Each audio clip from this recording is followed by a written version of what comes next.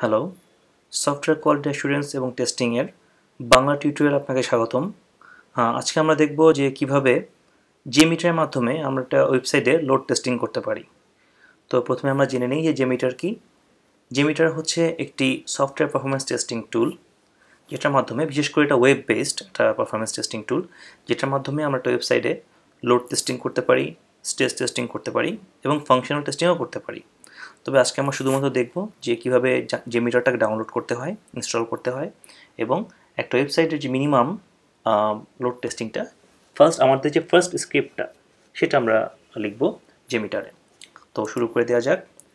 জেমিটার install করার আগে আপনাকে এটা অবশ্যই খেয়াল রাখতে হবে যে আপনার ল্যাপটপে বা আপনার কম্পিউটারে যেন Java virtual Java runtime environment যেন ইনস্টল থাকে। তো আমরা ফার্স্টে গুগলে সার্চ দিই Java download Java runtime environment আমি এটাকে অন করছি। ও, আপনি দেখবেন যে এখানে ওরাকলের একটা ওয়েবসাইটে সাজেশন আসবে প্লাস জাভার যে নিজস্ব ওয়েবসাইট সেখানেও রয়েছে। তাই আমি ওরাকলটা অন করছি। এখানে আপনি দেখতে পাবেন যে ডিফাইন জাভা এই মুহূর্তে যে লেটেস্ট ভার্সনটা আছে সেটা হচ্ছে Java SE run time environment eight তো আপনারা আমি আমার ম্যাক ইউজার যেহেতু আমি সো আমি ম্যাক এটা ডাউনলোড করছি। আপনি যদি উইন্ডোজ ইউজার হয়ে থাকেন, তাহলে আপনি উইন্ডোজ ডাউনলোড করতে পারেন। আপনার, সেক্ষেত্রে আপনি অবশ্যই লক্ষ্য করে নেবেন যে আপনারটা কত বিটের সিক্সটি ফোর বিটের নাকি এইট নাকি থার্টি টু বিটের থার্টি টু বিটের ক্ষেত্রে আপনার এখানে এক্স এইটটি ফোর সিক্স দেখাবে। আর সিক্সটি ফোর বিটের ক্ষেত্রে আপনার এখানে সিক্সটি ফোর দেখাবে। এবং আপনারা জাস্ট অ্যাকসেপ্ট লাইসেন্স এগ্রিমেন্টে ক্লিক করে ভার্সনটাকে ডাউনলোড করে নেবেন। দেখুন ডাউনলোড হচ্ছে। তো আমি এর আগেই ডাউনলোড করে রেখেছি এবং আমি ইনস্টল করে রেখেছি। তো আমি আপাতত এটাকে বন্ধ করে দিচ্ছি। ওকে এখন যেটা করব, আপনার জাভা রান টাইম এনভায়রনমেন্টটাকে ডাউনলোড করার পর সেটাকে আপনি ইনস্টল করবেন। এবং ইনস্টল করার পর আপনার যে দ্বিতীয় জিনিসটা ডাউনলোড করার প্রয়োজন হবে সেটা হচ্ছে Apache JMeter download Apache JMeter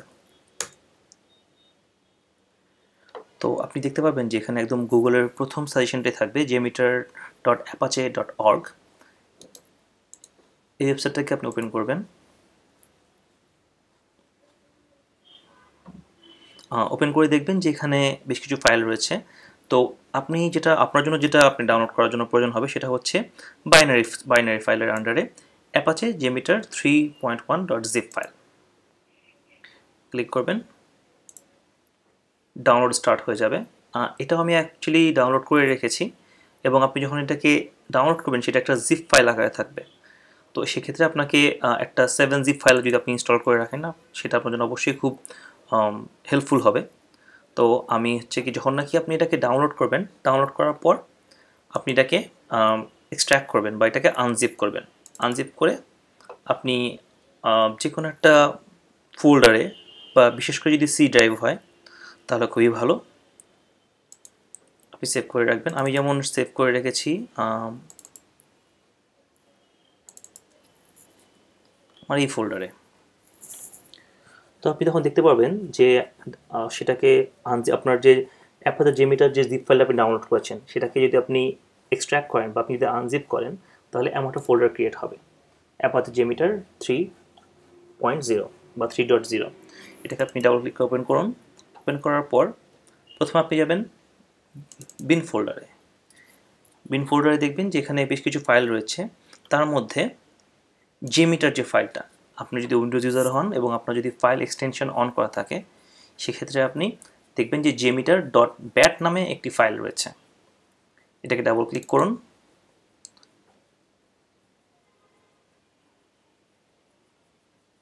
এবং এটা অপেক্ষা করুন।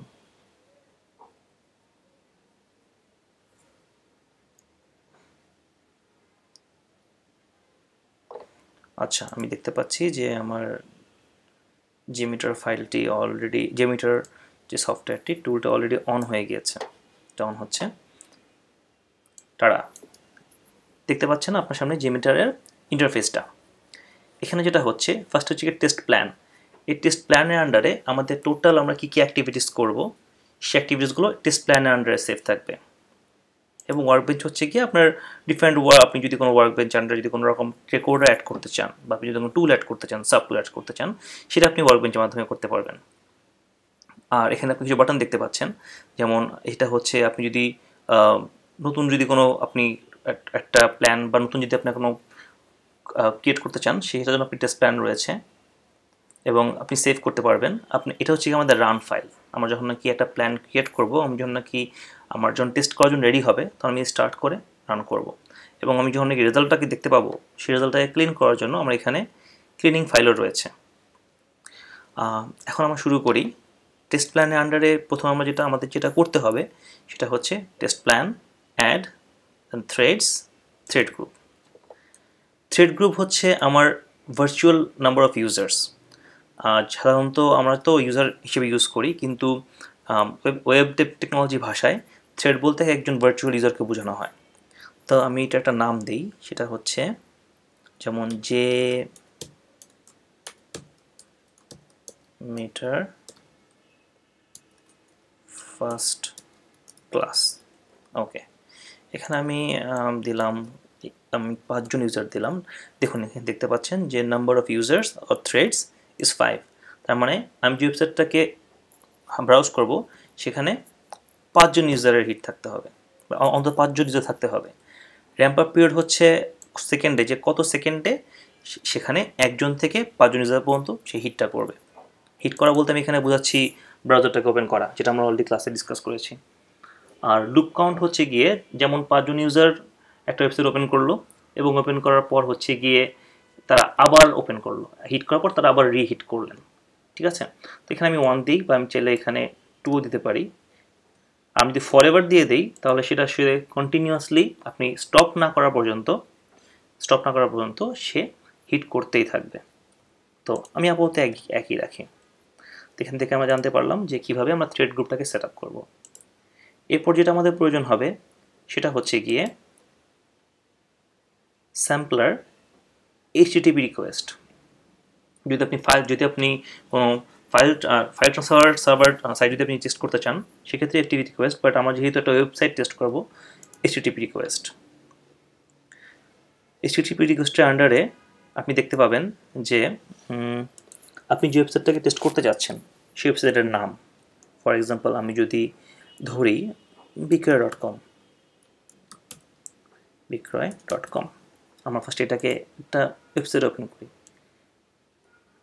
বিক্রয় ডট কম তবে আমি ফার্স্ট আপনাদেরকে অবশ্যই বলব যে আপনারা যদি লোড টেস্টিং করতে চান, তাহলে আপনাদের নিজস্ব যদি কোনো ব্লগ থাকে, নিজস্ব যদি কোনো সাইট থাকে, সেখানে আপনারা টেস্ট করলে অনেক বেশি বেটার হয়। আচ্ছা ফার্স্টে আমি তাহলে দেখি যে আমার যে ব্লগ রয়েছে ওয়ার্ডপ্রেসের সেখানে আমার পক্ষে এটা টেস্ট করা পসিবল হয় কি না ওকে আমি এটাকে কপি করে নিচ্ছি, এটা আমার পার্সোনাল ব্লগ কপি করে। এই সার্ভার নেম আইপি আপনি দেখতে পাচ্ছেন সার্ভার নেম আইপি এখানে আপনি পেস্ট করে দেবেন। এবং স্যার আপনার ওয়েব আপনার সার্ভার নেমের প্রথম দিকে HTTPS colon double slash W W W এগুলোকে মুছে দিন এগুলোর কোনো প্রয়োজন হবে না। পাথের জায়গায় যদি আমি হোম পেজটা ওপেন করতে চাচ্ছি সো শুধু শুধু একটা স্ল্যাশ দিলাম। এখন যেটার প্রয়োজন হবে, সেটা হচ্ছে গিয়ে একটা লিসেনার লিসেনারের কাজ হবে যে আপনি যে এক একটা হিট করছেন, সেই হিটের যে রেজাল্টগুলো সেই রেজাল্টগুলোকে ঠিকঠাকভাবে তুলে ধরা। যে সে আপনাকে রেজাল্ট আকারে দেখাবে, যে আপনার যে রেজাল্ট আপনার যে রেজাল্টটা আপনি যে, আপনার যে প্রত্যেকটা ইউজার অনুযায়ী আপনি যে হিটগুলো করছেন বা আপনি যে রেসপন্স পাঠাচ্ছেন, সে কী রেজাল্টটা পাচ্ছে? সো এখানে আমি একটা টেবিল অ্যাড করলাম। টেবিল অ্যাড করার পর আমি এইচটিটিপি রিকোয়েস্টের একটা নাম দিই। সেটা হচ্ছে গিয়ে my word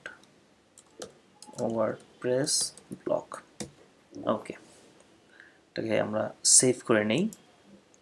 সেভের ক্ষেত্রে মাই ওয়ার্ডপ্রেস ব্লগ আপনি দেখবেন যেখানে জেএমএক্স যেটা হচ্ছে যে মিটারের একটা এক্সটেনশন জেএমএক্স এক্সটেনশনে এটা সেভ হবে।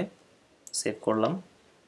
ওকে তো আমরা ফার্স্ট টাইম একটা লোড টেস্টিং করতে যাচ্ছি। সেটা ফের উপরে আমার যে এটাকে বন্ধ করে দিই, প্রয়োজন এটা রাখুন হ্যাঁ আমার যে এই ব্লগটা দেখতে পাচ্ছেন আপনারা, এই ব্লগে আমরা একটা ছোটোখাটো লোড টেস্টিং করব।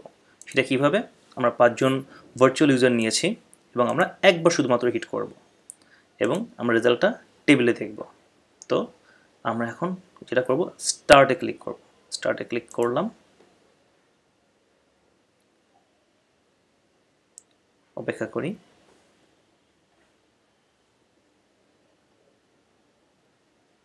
এই যে আপনারা দেখতে পাচ্ছেন যে আমার যে ব্লগটা রয়েছে, সেই ব্লগে আমার কতজন আমার কতজন ছিলাম ইউজার পাঁচজন ছিলাম। পাঁচজন ছিলাম হিট করেছি অ্যান্ড এই পাঁচজনের কোনো এরর নেই। এখানে আপনারা দেখতে পাবেন বিভিন্ন রকম আপনারা দেখবেন ভ্যালু দেখতে পাবেন, যেমন স্যাম্পল টাইম এটা হচ্ছে মিলি সেকেন্ড এক হাজার মিলি সেকেন্ডে টোটাল এক সেকেন্ড সো যেহেতু আপনার এখানে নাইন থাউজেন্ড মিলি সেকেন্ড দেখতে পাচ্ছেন, তারপর নয় সেকেন্ড নিয়েছে আপনার হিটের জন্য। লেটেন্সি এবং সে হিট করার তাকে, পর তাকে লেটেন্সি হচ্ছে কি আপনার এক হাজার নয়শো ছাপ্পান্ন মিলি সেকেন্ড তার মানে প্রায় দুই সেকেন্ডের মতো তাকে ওয়েট করতে হয়েছে এবং কানেক্ট করতে তাকে তার সময় লেগেছে প্রায় ওয়ান পয়েন্ট সিক্স সেকেন্ডের মতো। এভাবে এবং আপনি যদি মাল্টিপল আপনার যদি একাধিক পেজ আপনি যদি এখানে অ্যাড করতে থাকেন এসএসবি রিকোয়েস্ট হিসেবে এবং আপনি যদি নাম দেন, তখন আপনি দেখতে পাবেন, যেমন এখানে দেখতে পাচ্ছেন যে one dot two one dot four one dot five এর মানে হচ্ছে আমরা যে পাঁচজন ইউজার দিয়েছিলাম এখানে ওকে পাঁচজন যখন অ্যাট এ টাইম হিট করেছে ওয়েবসাইটে দেখেন সবার প্রথম যে ইউজারটা সে কিন্তু সবার আগে সে রেসপন্সটা পায়নি। সে পেয়েছে সবার লাস্টে দুই নম্বর যে ইউজার ছিলেন, ইনি সবার আগে পেয়েছেন, এরপর এরপর চার নাম্বার পাঁচ নাম্বার তিন নাম্বার সো আমরা তাহলে আমাদের ফার্স্ট যে স্ক্রিপ্ট আছে, যে মিটারের সেটা কমপ্লিট করলাম। আমরা আশা করি আপনি আরও আশা, আমি আশা করব আপনারা প্র্যাকটিস করবেন এবং পরবর্তীতে আপনারা জানাবেন। যদি কোনো সমস্যা থাকে অবশ্যই জানাবেন। আজকের জন্য এতটুকুই। ধন্যবাদ।